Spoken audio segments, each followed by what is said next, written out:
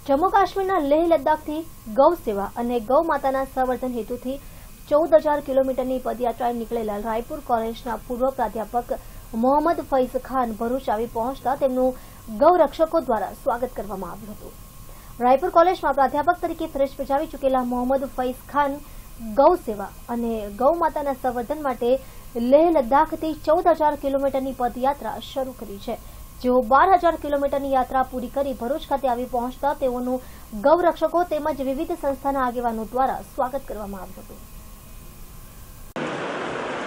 सरासर झूठ मंदिर में नहीं लद्दाख से चला हमारे इंद्रेश जी ने सिंधु नदी का जल दिया सिंधु का जल ले जाकर रामेश्वरम में और कन्याकुमारी में अर्पित करो दो सागर मिलते हैं और ये कन्याकुमारी के सारे मेडल उपलब्धियाँ भारत रत्न इनके ड्रेसेस जितने भी उनकी तरफ सब वहाँ म्यूज़ियम बना कौशल सही बात ठीक है। अपने को फोकट में मिल रहा है तो इज़्ज़त नहीं है कदर नहीं है। क्योंकि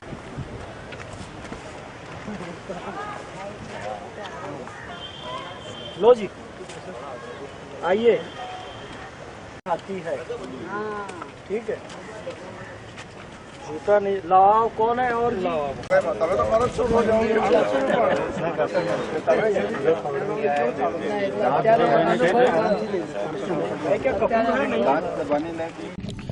चौबीस जून 2017 को लेह लद्दाख से गो सेवा सद्भावना पदयात्रा प्रारंभ हुई है। हम लद्दाख से कन्याकुमारी गए और कन्याकुमारी से अमृतसर की ओर जा रहे हैं। कुल 14,000 किलोमीटर की ये पदयात्रा है जिसमें से लगभग 12,200 किलोमीटर इस भरूच की धरती पे पूरा हुआ। 1800 किलोमीटर अभी हमको और चलना है। गो सेवा का संदेश देने के लिए गाय बचेगी तो विश्व बचेगा। पेड़ लगाइए नदी बचाइए बेटी बचाइए एकता से रहिए। गाय के नाम पर नफरत, हिंसा, दंगा बंद हो। गाय के नाम पर प्यार, मोहब्बत, अमन और भाईचारा हो। गाय का जो संदेश है, वो वास्तविक संदेश जाए। गोधरा प्रसिद्ध हो तो गो की धरा के लिए, गाय की धरा के लिए, सांप्रदायिकता के लिए नहीं। तो गाय के नाम पर प्यार, अमन, मोहब्बत और भाईचारा फैले। गाय का वास्तविक संदेश पहुँचे, वेद में गाय को हिंदू मुसलमान, सिख या ईसाई की माँ नहीं।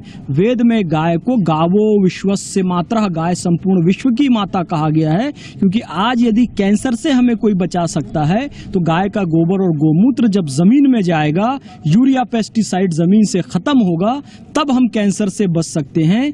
गाय का विषय हमारे स्वास्थ्य से जुड़ा हुआ विषय है, इस प्रकृति और पर्यावरण से जुड़ा हुआ विषय है। गाय का वास्तविक महत्व जनता तक पहुँचे, इसलिए गो सेवा सद्भावना पद यात्रा है, पैगंबर हज़रत मोहम्मद सल्लल्लाहु ने कहा। गाय का दूध पियो क्योंकि हर किस्म के दरख्तों पर चढ़ती है। गाय का दूध शिफा है, गाय का घी दवा है, इसका मांस बीमारी है। ईसा मसीह का जन्म गौशाला में हुआ। भगवान राम, भगवान श्री कृष्ण शिव जी गणेश जी सबकी कथा आप उठाकर देखिए तो वो गाय के बिना पूरी नहीं होती है। और पुनः इस देश के हर एक राजनेता, इस विश्व के हर एक नागरिक और भारत के हर एक नागरिक से कहना चाहूँगा कि वेद कहते हैं कि गावह स्वर्ग से सोपानम, गाय स्वर्ग की सीढ़ी है इस दुनिया में और परलोक में। स्वर्ग चाहिए तो गाय की पूंछ आपको पकड़ना ही पड़ेगा। मॉब लिंचिंग के बारे में जो एक नेशनल इलेक्ट्रॉनिक मीडिया ने गलत खबर चलाई है।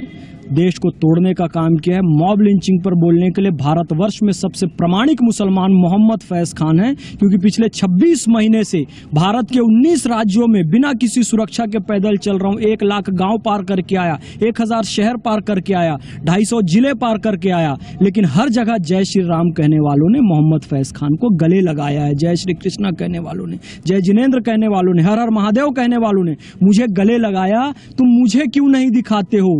क्या मैं आपके लिए खबर नहीं हूँ?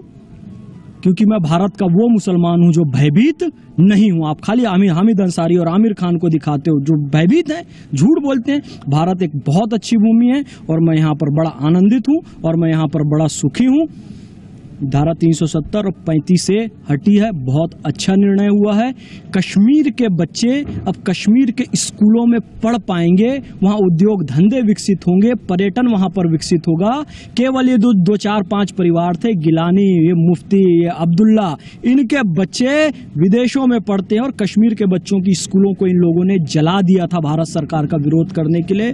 जम्मू कश्मीर का जिस तरीके से अब पूर्ण भारत में एक वास्तविक विलय हो चुका है, जो अखंड भारत है, उसकी अवधारणा अब दिखाई दी। लद्दाख को एक यूनियन टेरिटरी बना के बहुत अच्छा किया। यह लद्दाख की एक बहुत सुंदर संस्कृति है। ये यात्रा लेह से चालू हुई, चीन की सीमा से अमृतसर में समाप्त होगी। पाकिस्तान की सीमा पर यह बताने के लिए कि तिब्बत भी हमारा है, इस्लामाबाद पाकिस्तान भी हमारा है और ढाका भी हमारा है।